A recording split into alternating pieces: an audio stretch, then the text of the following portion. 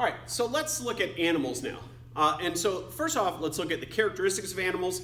Uh, the three characteristics of animals are all right here. Uh, one is that animals eat other organisms, right? So we all ingest either in whole or in part other organisms.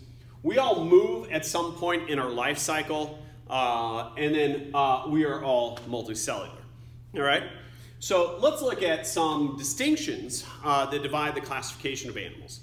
Uh, one is that we have uh, defined tissues. So uh, sponges do not have defined tissues. Everything else has defined tissues. So, you know, with defined tissues like, um, and I know we don't talk about this in this class, but epithelial tissues or connective tissues or muscle tissues or nervous tissues, those are the four main categories. Uh, sponges don't have any of that stuff. So epithelial tissues is coverings. Uh, next is symmetry type. So, uh, so if we look at this picture here, uh, one symmetry type uh, is uh, just being asymmetrical, meaning you have no body symmetry. And the only thing that's uh, asymmetrical uh, are sponges, again, all right?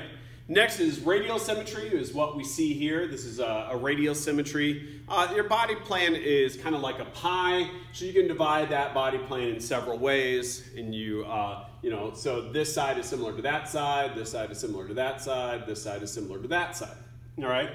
Or uh, you can be bilaterally symmetrical, uh, and this as an organism that has a left side and a right side, all right? So uh, like the frog, we are bilaterally symmetrical. Uh, next is gut development.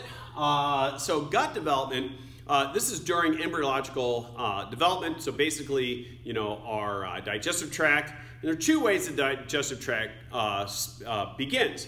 one is called a protostome. So protostomes, so this is showing gut developments here. so protostomes, proto means first, and stome means mouth. So this is gut development from the front to the back. So from mouth to anus. So the hole that starts, uh, it becomes the mouth on that. All right, and so this group right here are all uh, protostomes. Next are deuterostomes. Deutero means second, so mouth second. So this is gut development, gut development back to front. Uh, so this starts at the anus and goes to the mouth. And, you know, that's where we are. We're with the chordates over here. Next uh, is whether it molts or not. So uh, molting is where an animal sheds an exoskeleton and replaces it with a larger one.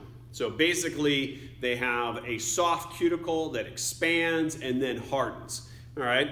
So uh, these organisms grow in intervals, and so roundworms and arthropods, insects and spiders are in that group.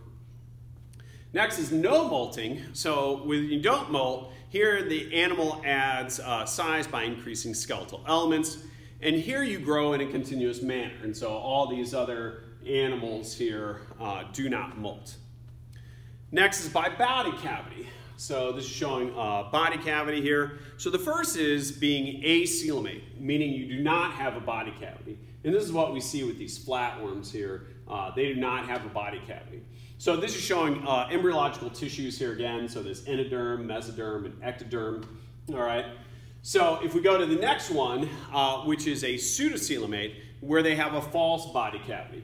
So here there's a space between their endoderm and their mesoderm. All right.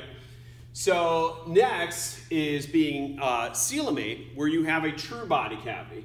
So here you can see that that uh, endoderm is surrounded by mesoderm, and then there's a space uh, between the different layers of mesoderm there. All right. Okay. So that's how we uh, distinguish these uh, different organisms here. So now let's start into looking at the major animal phyla. So, all right. So phylum is uh, below kingdom here. All right. So the first group are sponges. Now, if you have my notes, I list the number of species of each one, but don't pay any attention to that. Uh, thing about sponges, sponges are asymmetrical uh, and they have no distinct tissues or organs.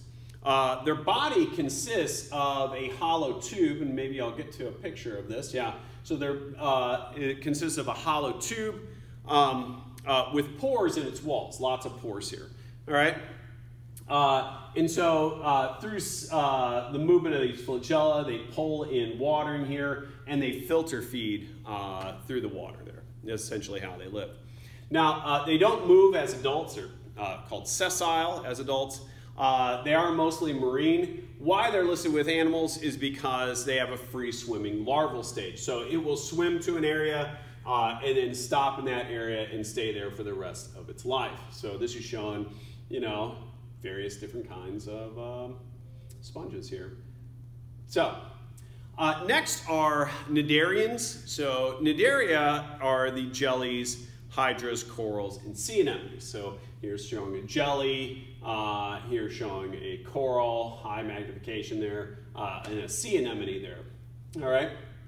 So, um, let's look at this. So, all these guys here um, have a soft, gelatinous, radially symmetrical body. All right, and they have tentacles, uh, and those tentacles uh, contain these stinging cells on them.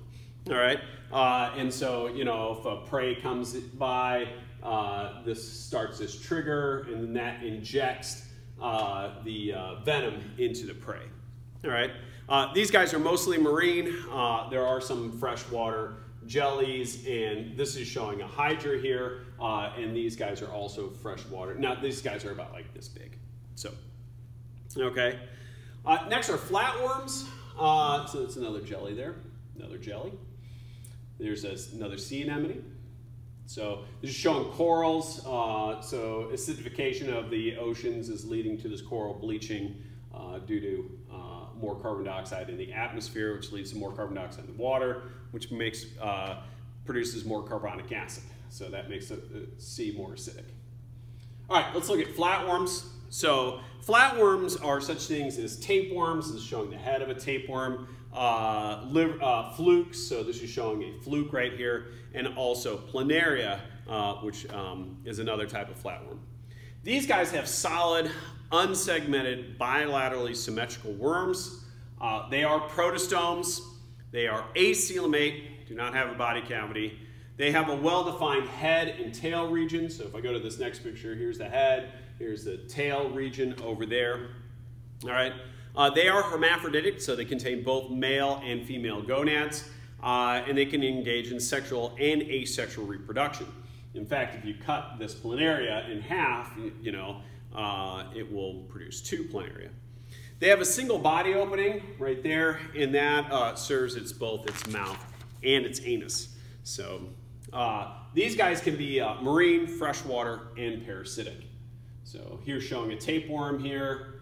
So each one of these segments is their reproductive structures. These will like break off and um, you know contain eggs in there.